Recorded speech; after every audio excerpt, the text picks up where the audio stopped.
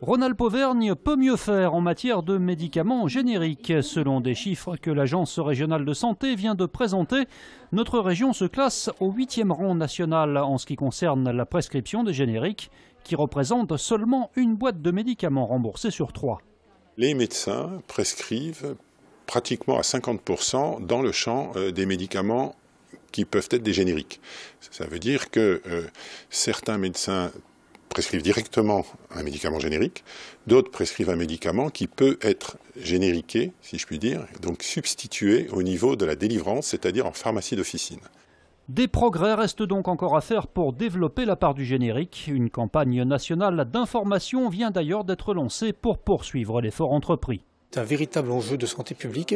En cinq ans, nous avons fait quasiment 7 milliards d'euros d'économies, 7 milliards d'euros que nous avons pu réinvestir dans la recherche et le développement de médicaments innovants sur les maladies d'aujourd'hui et de demain.